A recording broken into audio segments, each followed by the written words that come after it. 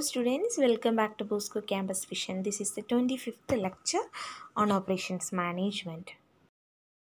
In the last class, we were discussed about uh, the production planning, elements of production planning. Now we move to the elements of production controls or functions of production controls. Production controls functions are first one is dispatching, second one is follow up, and the third function is inspection. First one is dispatching. Dispatching is concerned with the implementation of production plans. Production പ്ലാനിങ്ങിന്റെ implementation ആണ് ശരിക്കും dispatching കൊണ്ട് ഉദ്ദേശിക്കുന്നത് അതായത് റൂട്ടിങ്ങും ഷെഡ്യൂളിങ്ങും ഒക്കെ നമ്മൾ ചെയ്തല്ലോ പ്രൊഡക്ഷൻ പ്ലാനിങ്ങിൽ അതിന്റെ ഇംപ്ലിമെന്റേഷനാണ് ഡെസ്പാച്ചിങ്ങിൽ നടത്തുന്നത്.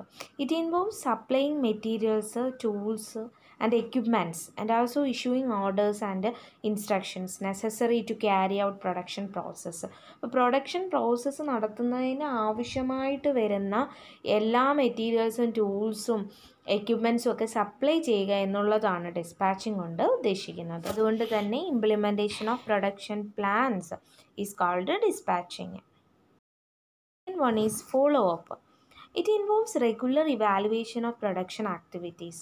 Follow up എന്ന് പറയുമ്പോൾ തന്നെ നമുക്ക് ആ വേർഡിൽ നിന്ന് തന്നെ നമുക്ക് മനസ്സിലാകും. എന്താണ്? പ്രൊഡക്ഷൻ ആക്ടിവിറ്റീസ് റെഗുലറായിട്ട് ഇവാലുവേറ്റ് ചെയ്യുകയാണോ ആണ് ഫോളോ അപ്പിൽ ചെയ്യുന്നത്. അതായത് വർക്കിന്റെ പ്രോഗ്രസ് റെഗുലർ ഇന്റർവെൽസിൽ അനലൈസ് ചെയ്യുകയും അതുപോലെ ആക്ച്വൽ ഔട്ട്പുട്ടും ടാർഗറ്റ് സെറ്റും തമ്മിലുള്ള കമ്പാരിസൺ നടത്തുകയും ഒക്കെ ചെയ്യുന്നതാണ് ഫോളോ അപ്പിൽ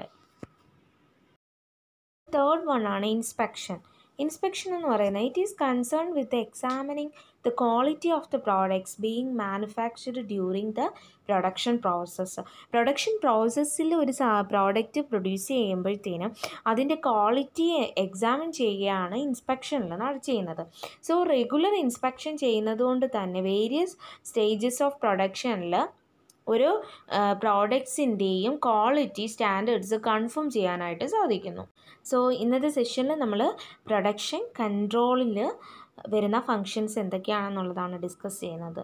അപ്പം നമ്മൾ മൂന്നാമത്തെ മൊഡ്യൂളിൽ ആണ് നമ്മളിപ്പോൾ എത്തിയിരിക്കുന്നത് ഇതിൽ വളരെ പ്രധാനപ്പെട്ട കാര്യങ്ങളിലേക്ക് ആണ് നമ്മൾ പഠിച്ചുകൊണ്ടിരിക്കുന്നത് നമ്മൾ ആദ്യം തന്നെ പ്രൊഡക്ഷൻ പ്ലാനിങ്ങും പ്രൊഡക്ഷൻ കൺട്രോളിനെ കുറിച്ച് നോക്കി എന്താണ് പ്രൊഡക്ഷൻ പ്ലാനിങ് എന്താണെന്നുള്ളതും പിന്നീട് പ്രൊഡക്ഷൻ കൺട്രോൾ എന്ന് പറഞ്ഞാൽ എന്താണെന്ന് നമ്മളവിടെ പഠിച്ചു.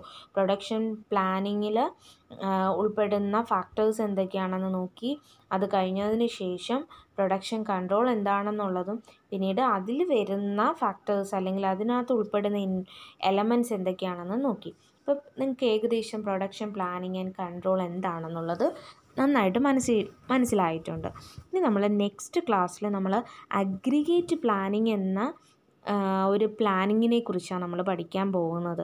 ഇത് നമുക്ക് എസ് എക്കൊക്കെ എക്സ്പെക്റ്റ് ചെയ്യാവുന്നതാണ്. അഗ്രിഗേറ്റ് പ്ലാനിങ്ങിൽ തന്നെ നമുക്ക് കുറേ കാര്യങ്ങൾ പഠിക്കാനുണ്ട്. എന്താണ് അഗ്രിഗേറ്റ് പ്ലാനിങ് എന്നും അതിൽ ഉപയോഗിക്കുന്ന സ്ട്രാറ്റജീസ് എന്തൊക്കെയാണെന്നും അഗ്രിഗേറ്റ് പ്ലാനിങ്ങിൽ വരുന്ന കോസ്റ്റ് എന്തൊക്കെയാണെന്നുള്ളതും ഒക്കെ നമുക്ക് ഡീറ്റെയിൽഡ് ആയിട്ട് പഠിക്കേണ്ടതായിട്ടുണ്ട്.